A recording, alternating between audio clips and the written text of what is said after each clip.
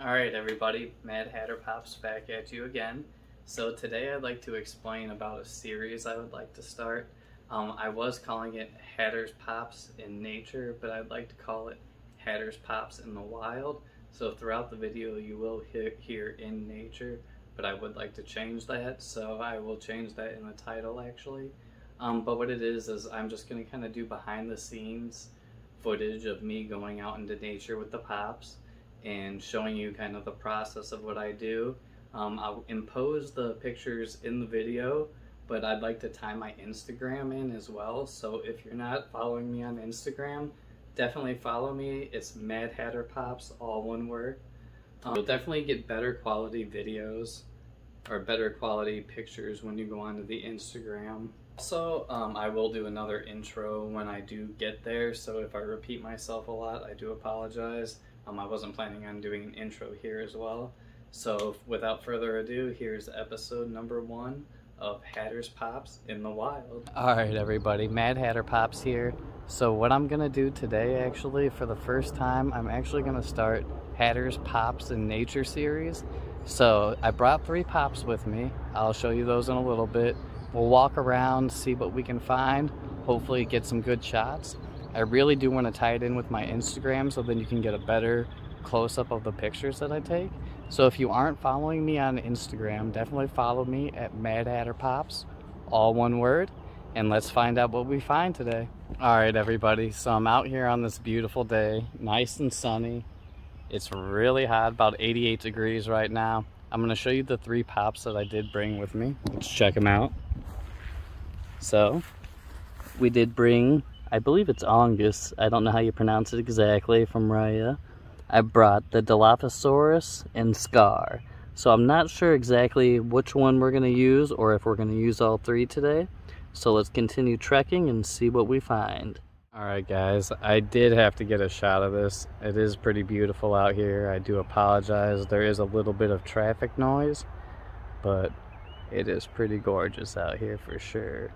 I actually know of a little hidden path over in this direction over here that we're gonna go check out next and see if we can get some good shots.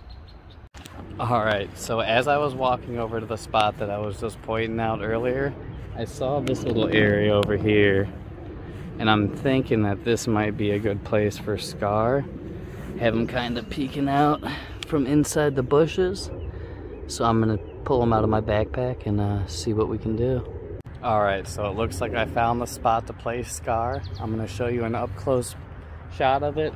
Um, like I said before, I am going to post it on Instagram, so if you do want to get a better shot of what it's going to look like, but he is going to be in there. So, I will try to impose a picture right about now for you, but otherwise definitely check out the Instagram for the other shots. Alright guys, so I just finished up with the pictures of Scar right over there. Um, I do apologize again about the traffic, can't help that. But I did find the path that I was talking about, so let's go check it out.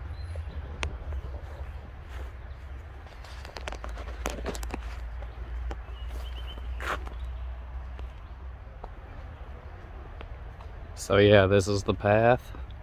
I know a few people know about it, but I'm sure we can find some pretty good spots in here.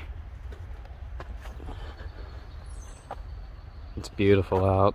I love this. Keep trucking a little bit. Alrighty. So I've come across a few promising places, nothing I haven't set on yet. I'll definitely go back, but walking along and then I found this fun little steep hill.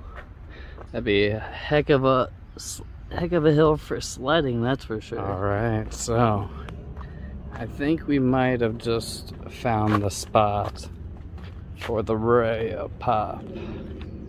Right on this ledge over here. I think I'm gonna try to get over there and see what we can do with them. Be right back with you.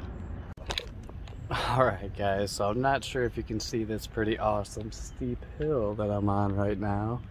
But I did find a spot. I think this is going to look great. Check it out. So we'll get some shots like this. you know? And I'll let you know how it turns out. Alright everybody, I'm back. Just finished up taking the photos of the Angus pop in this extremely safe spot that I was standing in. Um, I'm to keep going a little bit more. As you can see, I'm really hot, red, looking like a million bucks, but we're to keep on going.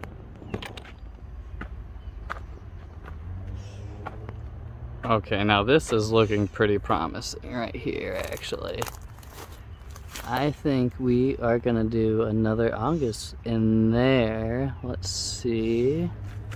think that might work out, so I'll be right back with you.